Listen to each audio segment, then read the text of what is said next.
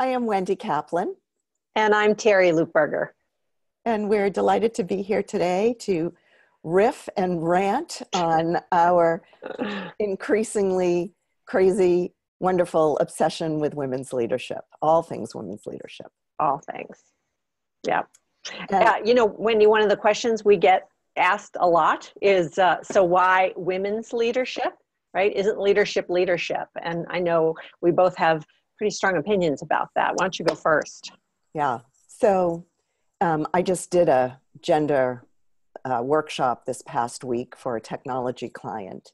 And one of the people in the room said, Well, why are we talking about women's leadership? Why uh, isn't it just good leadership practices? And um, I thought about that for a minute. And, and it's both and is my answer. Yeah, like leadership, good leadership development is good leadership development whether you're male or female. However, a couple of things. One, women lead differently than men. Generically speaking, women bring different things to the table behaviors, traits, values, qualities than men do, just as a gender in general. And I think women in senior leader roles and management roles in companies is pathetic in terms of percentages of how many women are at the top. And I believe it's the largest national business imperative opportunity in this moment in time. And so we haven't paid attention to women developing just women leaders because we're too busy running our companies like they've always been run, mostly by men. Yeah. And so this gives me an opportunity to riff just for a minute about the stats for those of you listening who don't know. Companies perform better with women at the top um, when, and they are 35, I have to cheat and look at my notes, 35% more likely to have higher financial returns above their industry national medians. They outperform those companies that don't by 34% greater returns to shareholders. They experience innovation intensity by over $40 million more than companies that have more male leaders they deliver 30% better results from their IPOs, 48% higher earnings than the industry stats, uh, average, and the average venture backed company run by a woman uses one third less committed capital. So, oh my gosh, the evidence and data is huge. Yeah. Yeah. Um, and and that makes me think. So uh, of course, there's an economic reason to have more women in leadership positions. And by the way, I'm I'm sure you've heard this, Wendy, that um, leadership isn't um, reserved for just a role. Right? I mean, right. anybody can lead at any level in the organization, but economically, organizations do better when they have more women in leadership, more women at the top, more women on boards um, um, the stats are kind of irrefutable. Um, and I, there's this great saying, and I wish I knew who said it. I don't. I apologize. But um, somebody uh, said that the system is perfectly designed to get the results it gets. Right. That's what systems do. Right. And I would say we have been in a system, not just for hundreds of years, but thousands of years, that um, uh, relies on a masculine patriarchal worldview, which isn't bad. We're not saying it's bad or wrong. We're saying at this point, if you look at um, what's going on, uh, you know, in the world, um, we need more of an integrated approach to leadership. We need the masculine and the feminine. You know, we need the men and the women collaborating, coming up with the innovative ideas um, to try to create a um, not just an organization that thrives, but an organization that thrives in a world that thrives. Um, so I think we need to also look at women's leadership from we need to um, poke at, uh, intercede in the system that's gotten created. What you and I have been talking about is that we want women to understand better how to play the game better. Yeah. And raise their awareness and competencies so that they can play the game better, which is not skewed towards the feminine or women. You just have to look at every sector in the world. Yeah, the, the game has been designed by men for men. and again, that's it's just isn't that great to become aware of so we can do something about it. So the the current game is what competition. So there's a win-lose mentality. If I win, that means somebody else loses. Um, and a more feminine perspective is win-win-win so I can win, you can win, we can win.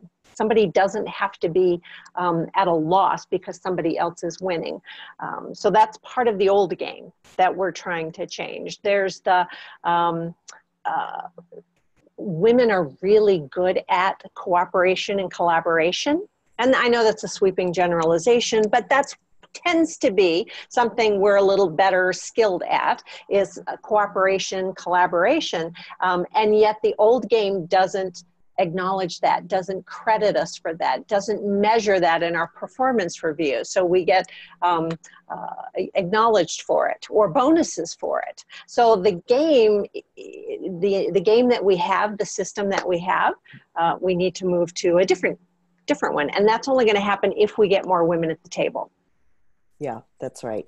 I in what I'd add to that is, you know, we often talk about you and I, who are we talking to?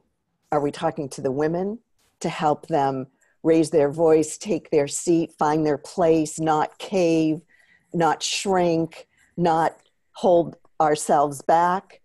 And are and or are we talking to the men who we believe who who have the power now.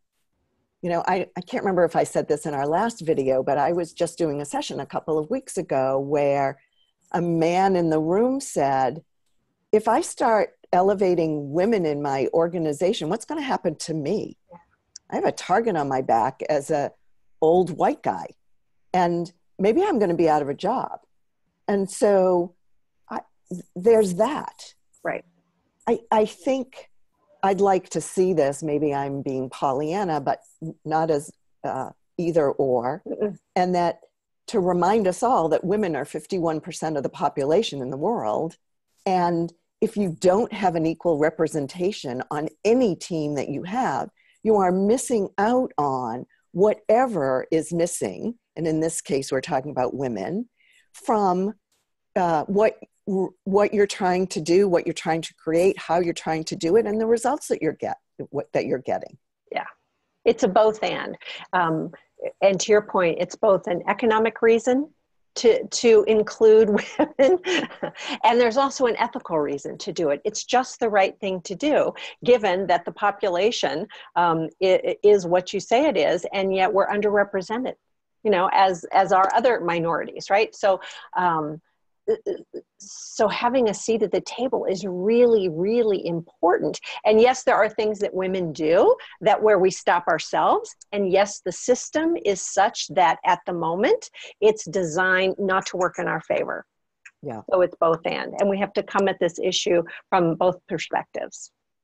I'd like to um, end with this uh, story that happened during a session and then we have a tip for all of you uh, to give you something to do um, to make a difference in your world. So I was doing a gender workshop, and there was um, for director levels and above in a technology company. So there were 24 people in the room, senior level management, and three women. Uh, the rest were men. And so one of the men said, This is all very interesting, but tell me, one thing that I can do right now to make a difference. And so I said, well, when you're in a meeting and a woman speaks up with a good idea, attribute that good idea to that woman and amplify it. Make it obvious that it came from her and use her name. And if you notice uh, somebody else stealing that idea or saying the same thing that the woman said, call it out. And the CEO says, that never happens in our company. and a woman from across the room said, all the time. And another woman said, every single day. And the CEO was like flabbergasted. Really? He said, Are you telling me we do that all the time? So even somebody at the highest level who cares a lot just didn't know. So I think there's a lot of times and a lot of situations where we're used to operating or men are used to operating or we're used to thinking in a certain way that we're unconscious about. Sure. So sure. raising our awareness and part of that is the reason we're doing these video series. So the tip that we have for people Ah, uh, yeah, the tip. So, uh, I, just this morning, I was working with um, a woman who has a startup, and she's in the first round of fundraising, and um, not making a whole lot of progress. And so, she and I were looking at strategies that might help her be more successful.